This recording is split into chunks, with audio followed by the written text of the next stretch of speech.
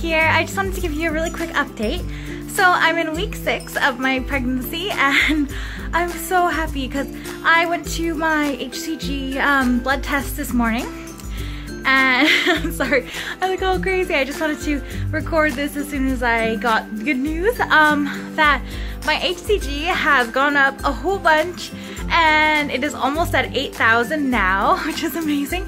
And the lady sounded really excited on the phone, so everything is going awesome so far, really great. And she said there's no more, um, no clinical need to do any more blood tests. So we've graduated to ultrasounds, which is so exciting. It's amazing. Um, and when I'm eight weeks, I'm gonna have my first ultrasound. So hopefully everything goes really well then. And we're so excited. Yeah, I'm so happy. That's amazing. Almost 8,000. That's crazy. so excited. Wish us good luck with everything, guys. Um, hopefully our little baby is growing strong and um, keeps on growing bigger and bigger and bigger. Some of my symptoms, I'm so, so exhausted. It's just ridiculous. I have to lay down like, and I usually have at least one nap a day, which I never ever nap. I'm a complete night owl, only need like two hours to survive during the day. Um, and now I'm just like need sleep all the time or I'm completely a zombie. Um, yeah. And so the other thing is I am extremely emotional. One second I'm like, yeah, everything's great, I'm so happy. And then the next second I'm just, oh, just like so depressed and so sad. Um, and just all over the place. Um, and then I'll see something cute and then I'll cry happy tears.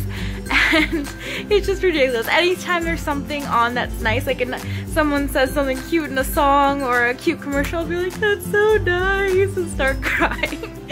um, so that's really funny and my husband keeps laughing at me about it and like earlier today I felt so overwhelmed and emotional um, because we are going through a stressful time right now but we're hoping it'll all get better soon and won't be so stressful but yeah so um, we got home from our trip today so it was all day driving um, and I was pretty exhausted and then we came inside and we're just like and then I was just so overwhelmed. I was just crying, crying. And then, um, yeah, and then I was, then I was just feeling kind of down and stuff. And then my husband came in and, and he's like, well, what'll make you feel better? And I was like, I don't know. I just want like ice cream or something. And, and he's like, wait a second. And he remembered we got like this black forest cake. so he got me a piece of it and I literally like sobbed in his shoulder because I was so happy. I was like, thank you so much. It's so nice of you and I don't know, it's so funny. and like the cravings are insanely real. I'm craving Clamato juice and um, just anything tomato. Greek salad, um, cucumbers and tomatoes are my main ones. Just uh, anything like that, I'm just think about it and I'm like, I need that right now. and if I have it, I'm like in heaven. I'm just like, this is the best thing I've ever had in my life. Um, so the cravings are definitely real. And I've had orange juice too, that's a craving. Um, but mostly tomatoes. it's kind of funny, but yes. The other, um, I haven't really had any cramping this week, week, but that's, I think that's a good thing. Um, it's kind of made me nervous that it disappeared, but it's definitely, like, I can feel it once in a while. I can definitely feel still, like, growing in my uterus and, like, um, stretching feelings and everything, but definitely way less than it was last week, um, and in week four. So, yeah, but, um, that's probably a good thing, and it just, it's, from everything I've read and everything, it's just your uterus stretching and growing, the round ligaments growing, um, kind of thing, or stretching and pulling, and it kind of comes and goes, just depends. And it's pretty much been replaced by nausea.